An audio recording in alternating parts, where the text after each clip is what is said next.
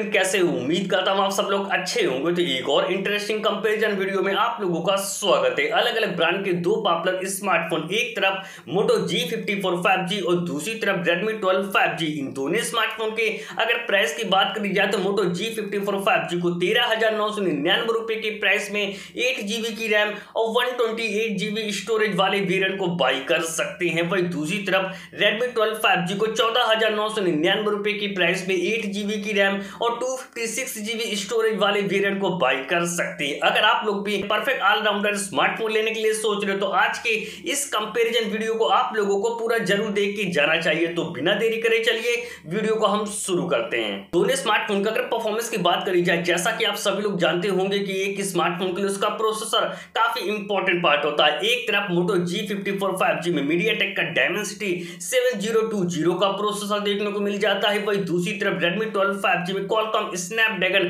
four gen two का processor देखने को मिल जाता है। अगर परफॉर्मेंस पर बात करी जाए तो इन दोनों स्मार्टफ़ोन में इतना ज़्यादा डिफरेंस देखने को नहीं मिलता। वही वही इन दोनों स्मार्टफ़ोन का अगर अंततः स्कोर की बात करी जाए तो उसमें भी इतना ज़्यादा डिफरेंस देखने को नहीं मिलता है, क्योंकि एक तरफ़ Moto G fifty four five G का जो अंततः स्कोर निकल के आता है four lakhs fifty eight thousand निकल के आता है, वही दूसरी तरफ़ रेडमी ट्वेल्व फाइव जी का जो अंततः स्कोर निकल के आता है four lakhs thirty two thousand निकल के आता है। दोनों स्मार्टफ़ोन का अगर डिस्प्ले सेगमेंट की बात करी जाए तो एक तरफ़ Redmi 12 5G 6.78 इंच की बिग साइज़ की full H D plus IPS display देखने को मिल जाती है। पर डिस्प्ले की अच्छी स्मूथनेस के लिए सिर्फ़ 90 हर्ट रिफ्रेश रेट का सपोर्ट देखने को मिल जाता है। वही दूसरी तरफ़ कम प्राइस होने के बावजूद भी Moto G fifty four inch की full HD plus IPS display देखने को मिल जाती है। डिस्प्ले की अच्छी स्मूथनेस के लिए या फिर गेमिंग के अच्छे एक्सपीरियंस के लिए डिस्प्ले में one twenty hertz refresh rate का सपोर्ट देखने को मिल जाता है। अगर कैमरा सेगमेंट की बात करी जाए तो दोनों स्मार्टफ़ोन एक जैसा मेगा पिक्सल वाला सेमी अपर्चर का प्राइमरी कैमरा देखने को मिल जाता है। फिर भी कैमरे के मामले में क्लियर विनर निकल के आता है मोटो का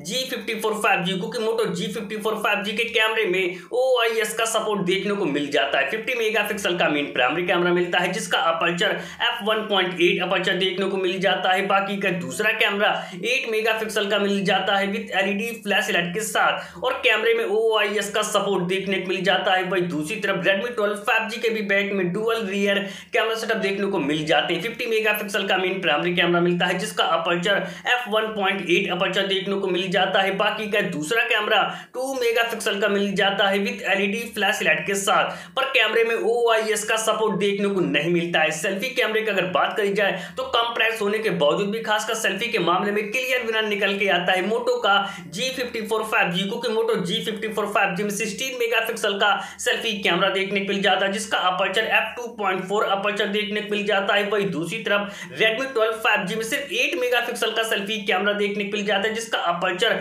f2.0 अपर्चर देखने को मिल जाता है, जो कि फिफ्टीन थाउज़ेंड रुपीज़ की प्राइस को अगर देखा जाए तो Redmi 12 5G का एक बहुत बड़ा माइनस पॉइंट है इसका सेल्फी कैमरा दोनों स्मार्टफ़ोन का अगर वीडियो रिकॉर्डिंग फीचर की बात करी जाए तो Moto G fifty four five G में डुअल वीडियो रिकॉर्ड करने का ऑप्शन देखने को मिल जाता है, जबकि ज़्यादा प्राइस होने के बावजूद रेडमी ट्वेल्व फाइव जी में डुअल वीडियो रिकॉर्ड करने का ऑप्शन देखने को नहीं मिलता। ऑडियो फीचर की अगर बात करी जाए तो Moto G fifty four five G में डॉल्बी एटमॉस देखने को मिल जाता है जबकि रेडमी ट्वेल्व फाइव जी में डॉल्बी एटमॉस देखने को नहीं मिलता। बैटरी सेगमेंट की अगर बात करी जाए तो कम प्राइस होने के बावजूद भी खासकर बैटरी बैकअप के मामले में बेटर हो जाता है मोटो का G fifty four five G को Moto G fifty four five G में सिक्स थाउज़ेंड एमएच की एक बड़ी बैटरी मिल जाती है। थर्टी वाट की टर्बो फास्ट चार्जिंग के साथ यूएसबी टाइप सी पोर्ट का सपोर्ट देखने को मिल जाता है। वही दूसरी तरफ़ रेडमी ट्वेल्व फाइव जी में फाइव थाउज़ेंड एमएच की बैटरी देखने को मिल जाती। है एटीन वाट के फास्ट चार्जिंग के साथ यूएसबी टाइप सी पोर्ट का सपोर्ट देखने को मिल जाता है। सिक्योरिटी फीचर के लिए दोनों स्मार्टफ़ोन में साइड माउंटेड फिंगरप्रिंट सेंसर देखने को मिल जाते हैं।